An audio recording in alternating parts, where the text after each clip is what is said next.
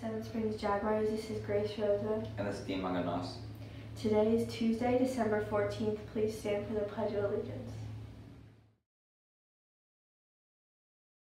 I pledge allegiance to the flag of the United States of America and to the republic for which it stands, one nation, under God, indivisible, with liberty and justice for all. Please remain standing for a moment of silence.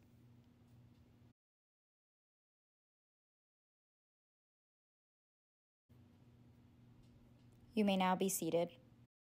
Options are PJ sandwich, fruit roast, cheese or sunflower seed combo, buffalo chicken salad, beef and bean chili, or cowboy barbecue. Tonight is the first um, night of theater production of Dracula and Frankenstein in the cafeteria. Good luck, um, Jaguars. There is a girls' basketball practice today from 3 to 5 p.m. in the gym, and don't forget, yearbooks are available for purchase for $35. The price will go up at the start of second semester to $50.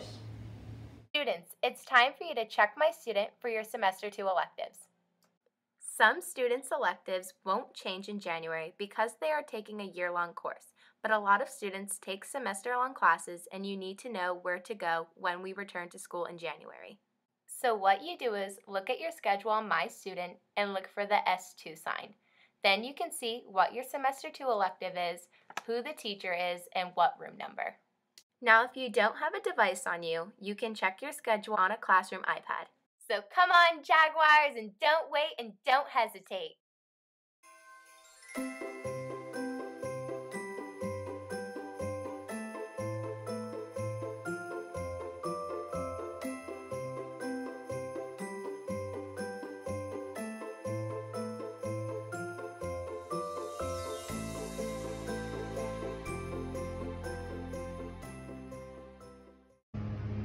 Is Sophia. My name is Liam. I'm Julia. I'm Trip. There are two angel trees dedicated for teacher and student donations. These trees' purpose is to donate to the less fortunate for the holidays. All these donations will go to the Metropolitan Ministries Holiday Assistance Program.